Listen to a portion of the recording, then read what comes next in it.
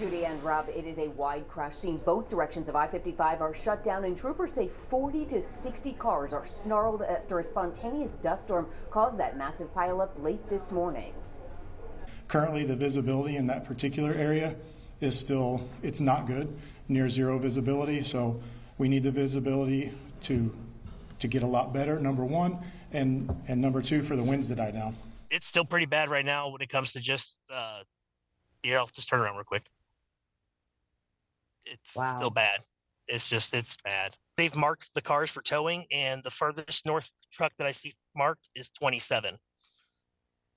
And it says 26 and 23 and 24 and so on going down. So I don't know about my side, but I know on the other side it's 27. So there's probably at least 50 cars at minimum.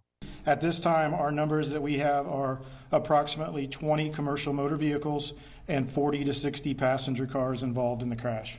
Currently, the Illinois State Police Traffic Crash Reconstruction Unit is on scene. We're working the problem. Um, we have law enforcement officers on scene, Illinois State Troopers. We're working with our county partners as well, other stakeholders in the area to investigate the crash, remove the vehicles to make the roadway safe again so we can get people traveling I-55 once it's safe to do so.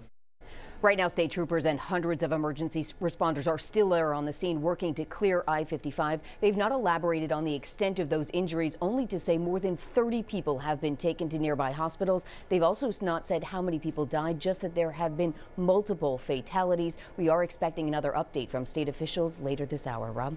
Watch breaking news on YouTube. Subscribe to ABC7 Chicago Eyewitness News.